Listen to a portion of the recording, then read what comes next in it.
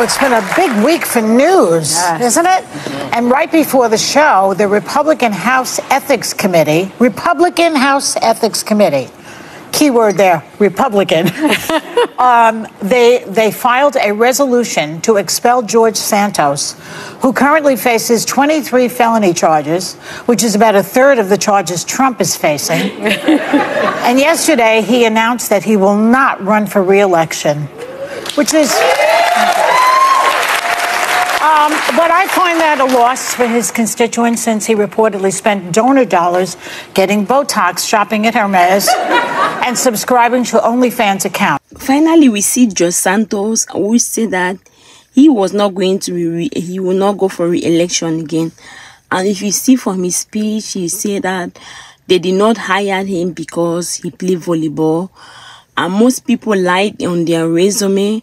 To him, basically, um, to him basically most people tell lies. So to him basically you're not choosing because of um your qualification. You're choosing because of what you can bring on the table your potential in what you can use in any organization what you have in you to make that organization better. Let's watch and see the different point of view from the women in the views boring nerd, dork, whatever you want to call me. I just discovered what OnlyFans was about three weeks ago when it was brought up in a discussion in my office. What do you think? And I was very, I was oblivious to the whole concept. the reality is, is it's a witch hunt. I'll be a chairman of a committee in a couple of years. Most people lie on their resumes. It's just, unfortunately, it's it's the reality. Yeah, but you lied about everything. Well, not true. Nobody elected me because I played volleyball or not. Nobody elected me because I graduated college.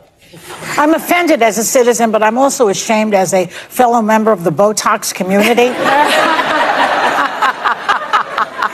He wants to serve out his term, but will Republicans cut the cord? And why is it always a witch hunt when they commit crime? Suddenly, you're going after them, and it's a witch hunt. Well, I don't think he's going to end up staying through his term. Um, I think the fact that the Ethics Committee chairman has decided to file the motion, motion for expulsion.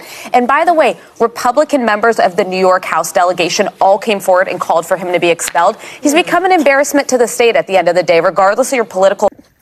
They claim that when Republicans always commit, like they do something, they always say that it's a witch hunt after mm. them. They also say that um, they don't want to allow him to finish his term, like George um, Santos, they want the congressman of New York, so they want him to step down before his term is finished. No one want to stand and support and stand for him.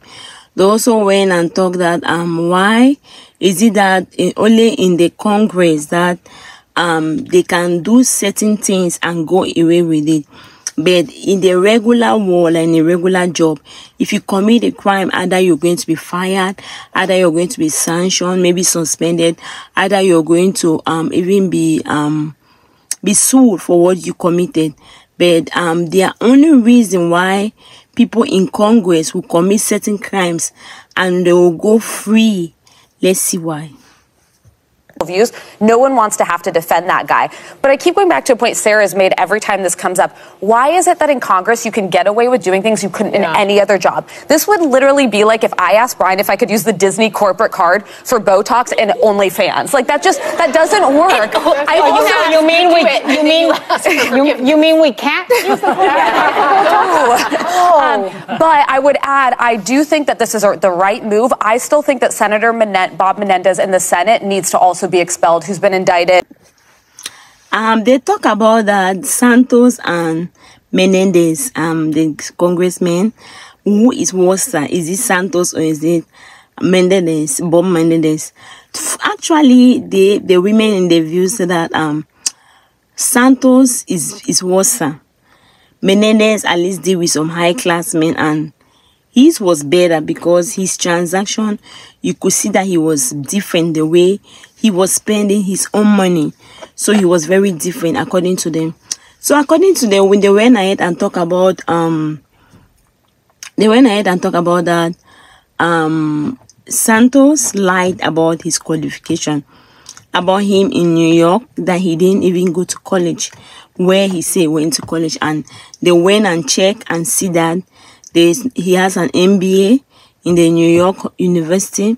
But when they check, his name was not found there. And mm, he was lying. And that's one of the crime that he committed. Although he took 6000 and did his botox with that also mm-hmm. on uh, charges of acting as a foreign yeah. government yeah. with a foreign government which is who's worse who's worse Menendez or Santos? I think, I think Santos is worth because he also went to Ferragamo and spent six thousand dollars. and said he's jealous. Botox, I think so Menendez is more dangerous because he was trading things. He was smarter. right. Like Santos is kind of feckless, other allegedly. than with money, allegedly. Allegedly, but.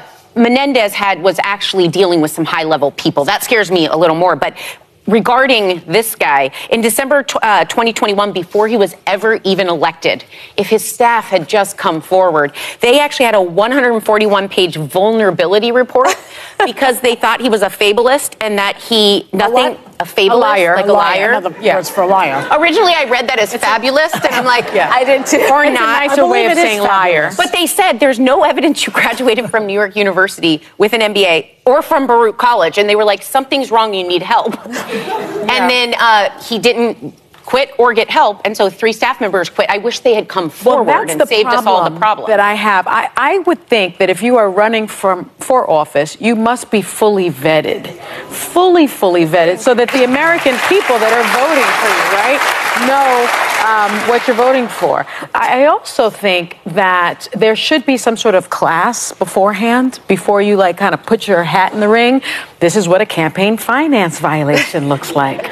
You cannot use your corporate. Don't you think he, knew, he knew? I, knew. I, I, don't know because we do know in Brazil he got into some trouble for doing some similar things, yeah. but the vetting was the significant problem. But I am not so sure that the Republicans are going to expel him. I think there have been other motions to expel him that have in, been. Un- Actually, they went and explained that um, Santos have been discovered a long time ago and they're trying to expel him, but um, he has some support from some few Republicans and from Democrats also that they don't want to um, expel him. So they are in communication that um, why we didn't know he lied about almost everything.